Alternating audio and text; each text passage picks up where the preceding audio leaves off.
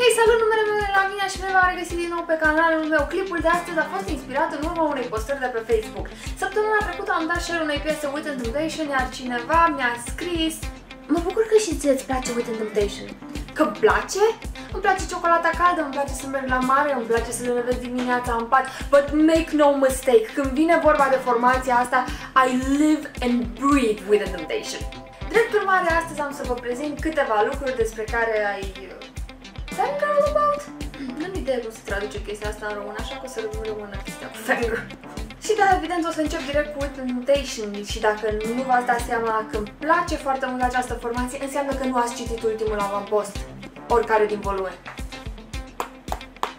Pasiunea mea pentru formația asta a început în 23 august 2003, undeva la ora 15.30 aproximez eu. Atunci am văzut pentru prima dată videoclipul piesei Ice Queen și m-am îndrăgostit de formația asta. În 2007 când au venit pentru prima dată la Artmania am fost prima acolo, m-am dus cu 5 ore înainte ca să-mi prind loc în față și să îi văd. Deci nu îmi place with temptation, I love them, ok? They're in my veins, literally. Și da, sunt conștientă că stăm oameni diferiți cărora ne plac lucruri diferite, dar dacă ai să-mi insulti formația preferată și din întâmplare peste 5 minute izbucnești în flăcări, iar eu o să stau acolo cu furtunul de apă în mână și am să-l not și după aia am să zic May the odds be ever in your favor. Și cu asta trecem la punctul 2, The Hunger Games. I've seen the movies, I've read the books, nici nu cred că mai are rost să vă spun cât sunt de înnebunite după jocurile foamei. Am tot repetat chestia asta în atât de multe tipuri încât cred că v-ați plictisit să auziți de pasiunea mea nebună pentru Katniss și întreg universul din Panem. Așa că o să trecem puțin mai departe și anume la al doilea film which is the Terminator franchise. Când eram micuță, în timp ce alte fetițe se jucau de-a mamele, de-a prințesele sau de-a învățătoarea sau doctorița, eu mă jucam de-a robotul trimis din viitor pentru a opera pe Sarah Connor și a lupta împotriva lui Skynet. Am văzut în copilărie de atâtea ori primele două filme din această franciză încât pot să reproduc fidel fiecare replică a filmului de la cap la coadă. That was not a joke!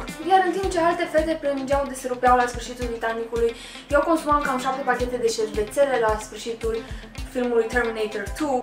I need a moment!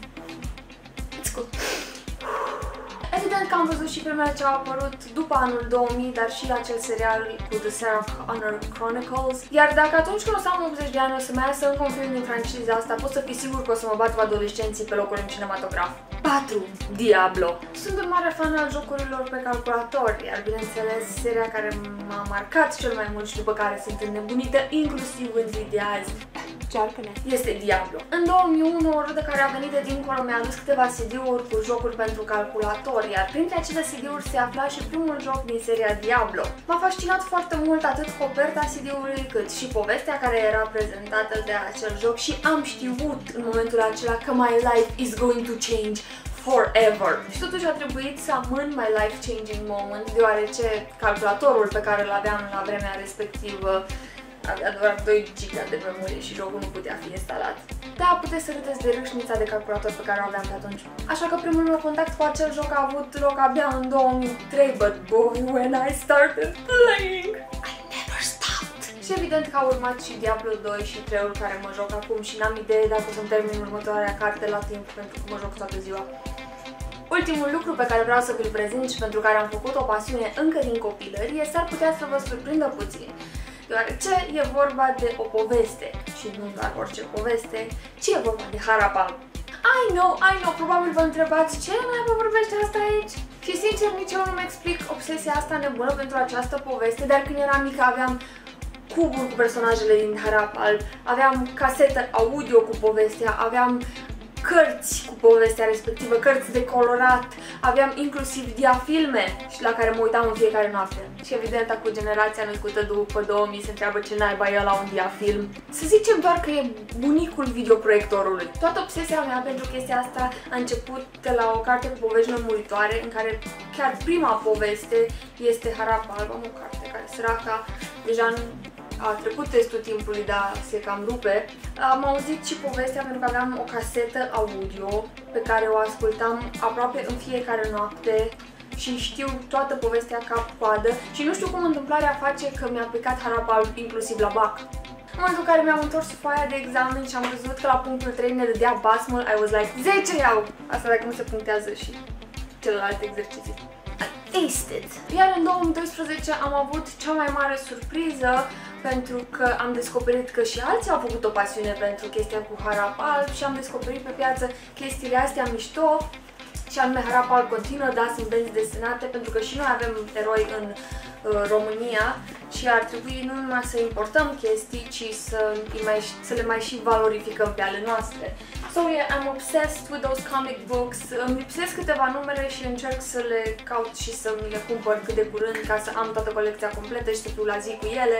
Pentru că, bineînțeles, vreau să văd ce se mai întâmplă și cum evoluează toată această uh, serie, pentru că cei care au creat-o deja au deviat destul de mult de la povestea originală. Adică în primele câteva uh, numere chiar este acea poveste pe care o știm cu toții de când eram copii, dar apoi au extins-o foarte mult și a devenit foarte, foarte interesant, iar dacă nu ați cumpărat aceste benzi desenate, chiar vă recomand să o faceți pentru că sunt absolut geniale. Și nu spun asta doar pentru că sunt mare, mare fan al lui Harap Alb și pentru că în copilărie îmi doream mai mult ca orice să pot să intru în povestea respectivă și să fiu un personaj. But then again, I also wanted to be a teenage mutant ninja turtle and a Power Ranger, so...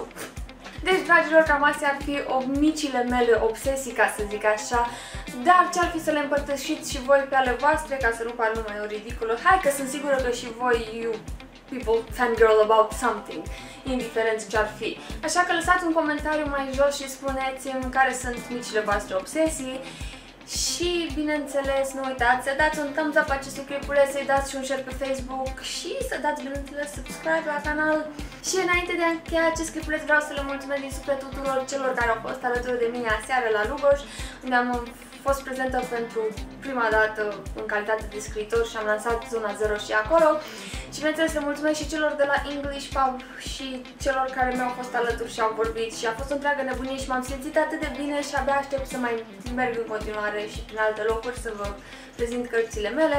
So, yeah, nu uitați să urmăriți uh, acest canal ca să vedeți cum și unde o să ne întâlnim data viitoare. Chiar am primit recent o propunere destul de interesantă să merg într-un oraș în care nu am mai fost, adică am mai fost eu ca să-l vizitez, dar nu am fost niciodată în calitate de scriitor. O să vă dau în curând mai multe detalii, nu vreau să vă zic mai mult Brașov. Așa că nu uitați să urmăriți acest canal și până data viitoare, v-am pupat!